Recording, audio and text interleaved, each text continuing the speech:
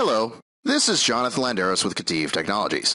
And in this video, I'm going to show how we can get the cross-sectional area of a void inside an Autodesk Inventor part.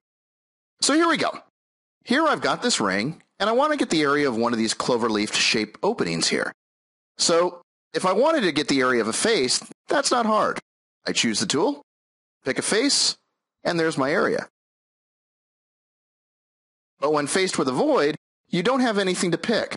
So what do we do? Here's the trick. Go to your boundary patch tool and select the edges you want to patch. And as I select those edges, we can create a patch that fills that face in with a surface, and then I can go ahead and I can get the area of that surface. No problem. Since it's a surface, it doesn't change the volume of the part, and it can be easily suppressed when you don't need it. Another trick you can use, if you want to make sure you get the interior of the part and avoid any fillets or anything that might throw off the result, you can create a sketch, offset into the part,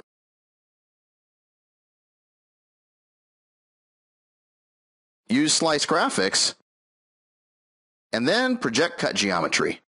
Now you've got a face that you can go ahead and apply the boundary patch to and quickly get the result for the interior should there be any changes in the interior. So that's it for this video. It's a neat little trick and not that hard once you know it. Thanks for watching, everybody.